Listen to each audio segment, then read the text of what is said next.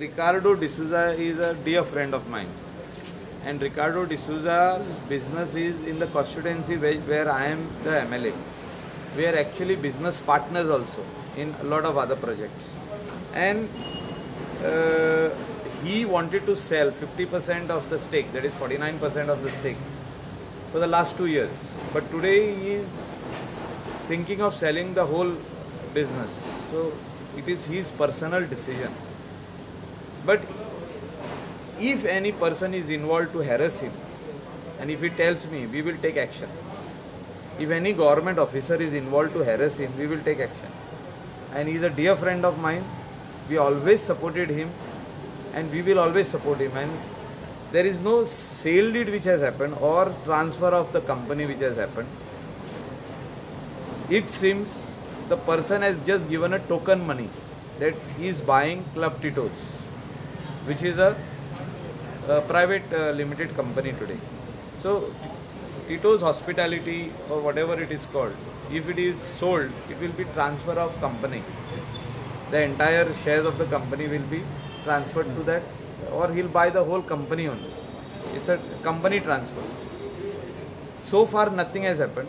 I will convince him that he should keep 51% of the shares of the company because Tito's is a brand which was started by his father. It is his uh, ancestral business. It is his traditional business which has come from generation uh, to him and he should pass it on to the next generation.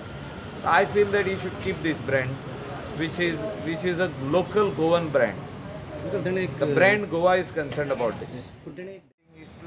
Directly talk to Joseph D'Souza. He is my dear friend, very close friend. पण अशा पद्धतीने आणि अशे तेजे कडेन हांव जेन्ना काल उलयलो तो म्हणटा एडवान्स दिला म्हणून सेल्डीड जावंक ना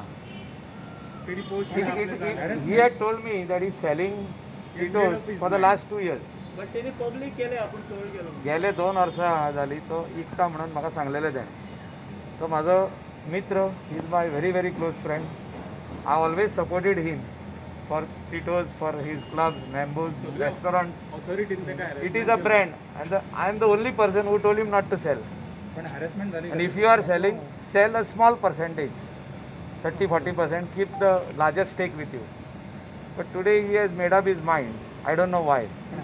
I think you you are the best person to ask him. तुम्ही अजून driving And if anybody has harassed him, you should tell me the name. Uh, We will take action. If anybody from departments have harassed him. पंचायतीने harass ना ना तसं काय नाही. तर चांगलं पंचायत is सरपंच close. सरपंच सोडून बाकींचा बाकीचे सगळे केला. सरपंचांचे नावपासून बरयला तेणे at he has help us तो नको पयलीचे सरपंच. ते हांव नको पयलींचे सरपंचाचे काय नको म्हाका सांगूनी तेणे तुम्ही अजून I am I am meeting him tomorrow so he will tell me everything if there is anything related to any harassment त्याने विकू नये म्हणून तुम्ही प्रयत्न करणार का? No, I will again tell him that don't sell above 50%. If you want to sell, sell below 50%. Um, as a coastal belt, that is state of Goa, and a coastal belt MLA, a legislator of the Legislative Assembly state of Goa, we welcome this decision of uh, our Honorable Finance Minister, Government of India, Nirmala Ji Sitharaman and this decision will give a boost to the tourism industry not only in the state of Goa across India and a lot of tourists post covid once things improve in India and when there is no sign of the third wave we will get vaccinated tourists who has taken both the doses or a single dose which is given in other countries. When they come to India and especially Goa state, the economic condition of a lot of states will improve because a lot of businesses have been affected in a very very big way. Businesses have shut down, especially in our state Goa.